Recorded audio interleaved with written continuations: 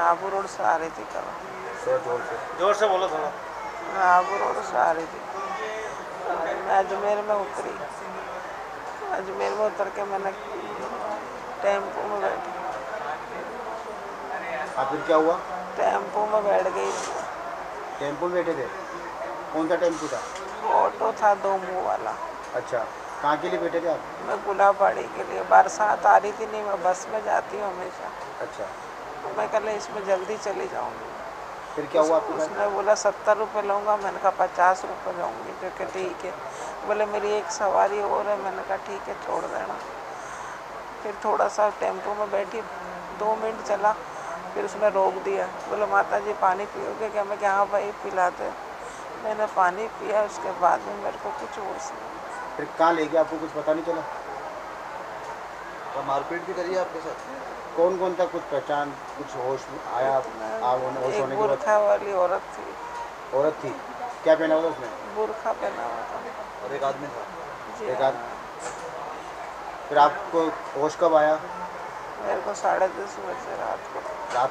साढ़े दस बजे थे रात को। साढ़े कहाँ पे पाए गए आप? कुछ पता चला? नहीं मेरे को कुछ होश आपका नाम बताओ। मेरा नाम रेखा चौहान। रेखा चौहान करके एक महिला है जिनकी उम्र लगभग 48 वर्ष है जो गुलाबबाड़ी पुलिस थाना अलवा गेट की रहने वाली है।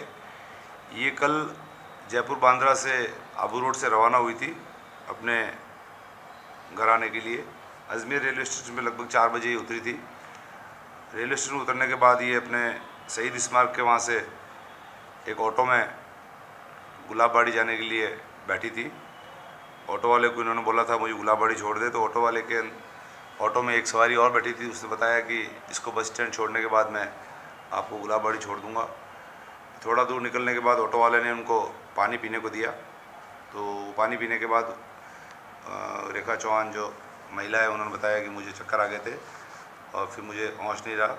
और रात को जब इनकी 10-11 बजे लगभग होश आया तो इन्होंने पाया कि ये एक महिला इनके साथ थी। और ईंटों के बने हुए एक कमरे में, जिसके ऊपर चद्दर लगे हुए थे और नीचे घास फूस थी वहाँ अपने आप को पाया। फिर वहाँ उनके साथ महिला ने बताया मेरे साथ मारपीट की और उनके हाथ बाँध दिए थे। सुबह सवेरे जब इनकी वापस नींद खुली, तब इनको चाय पीने को दी थी।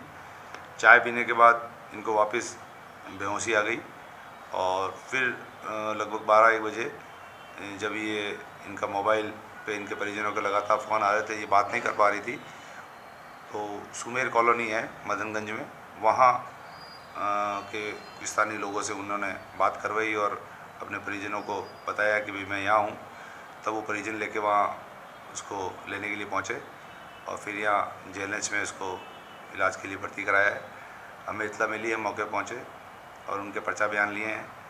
पर्चा बयान में उन्होंने यही बताया कि मेरे गहने, मेरे पैसे, मेरा सामान, मेरा मोबाइल सभी सुरक्षित हैं। और किस कारण उप लोग ले गए हैं, ये अनुसंधान का विषय है। इस संबंध में अनुसंधान किया जा रहा है। और अन्य किसी प्रकार का और भी कोई शारीरिक हमला भी उनके साथ नहीं हुआ है। मारपीट की बात वो अवश्य बताती हैं। मेडिकल के लिए रिपोर्ट दे दी हैं एवं उन्हें किस प्रकार के विषाक्त का सेवन करवाया गया है, ये भी जाँच में आएगा।